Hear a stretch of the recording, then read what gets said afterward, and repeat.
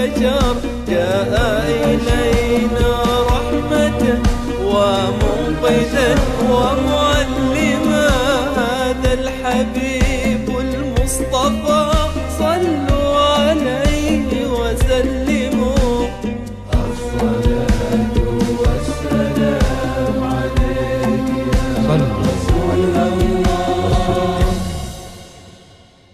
الحمد لله والصلاة والسلام على سيدنا وحبيبنا رسول الله وعلى آله وصحبه ومن والاه.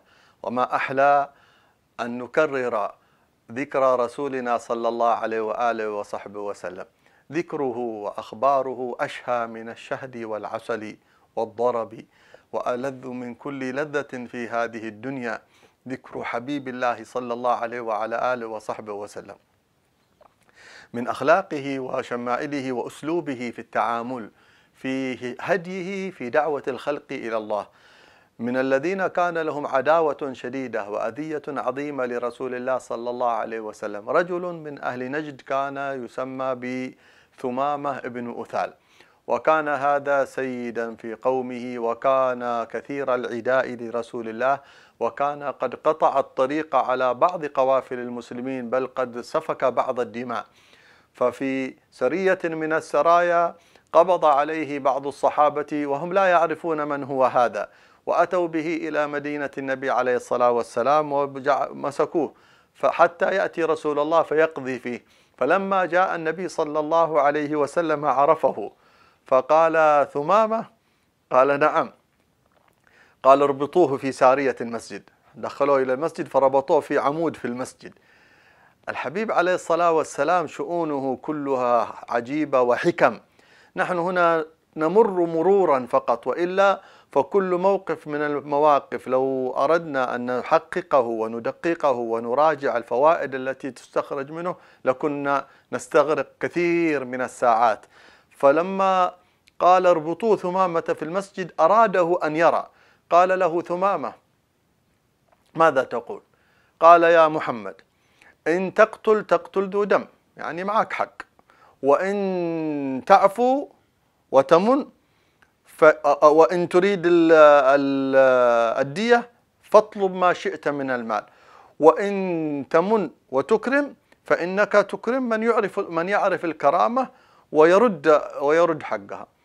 فأعرض عنه النبي صلى الله عليه وسلم وتركه وذهب ويمر يوم كامل النبي صلى الله عليه وسلم في المسجد يصلي والصحابة ثمامة يرى مشهدا عجيبا. هذا ما هو مسرحية. يرى مشهد من الجمال من الروحانية من الصفاء من الحب من الانضباط من الوجهة إلى الله ما كان يتخيلها في حياته. لما جاء اليوم الثاني أعاد عليه رسول الله نفس الكلام فأعاد ثمامة نفس الكلام.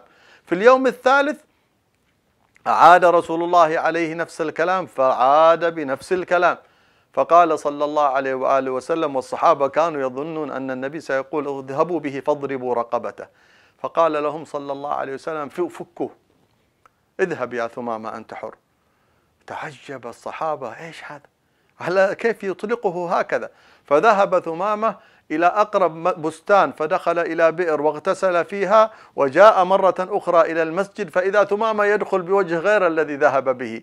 فقال يا محمد أني الآن أشهد أن لا إله إلا الله وأنك رسول الله. قال لما لم تشهد من أول؟ قال حتى لا يظن الناس أنني أسلمت خوفا من السيف ومن القتل.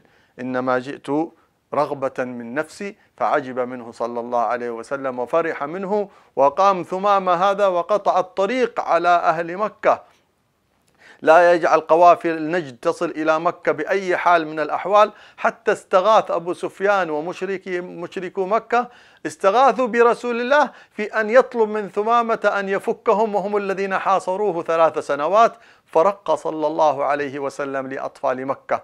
وقال يا ثمامة دع طعام الناس دع غذاء الناس فإن فيهم الأطفال والنساء هؤلاء. فأطلقهم صلى الله عليه وآله وصحبه وسلم هكذا موازين الرحمة التي شحن رسول الله تعالى بها قلب نبي صلى الله عليه وسلم فصارت تهتدي بها هذه القلوب الجلفة الجافة. نسأل الله أن يهبنا من هذه الرحمة ومن هذا النور الذي وهبه حبيبه صلى الله عليه وآله وصحبه وسلم.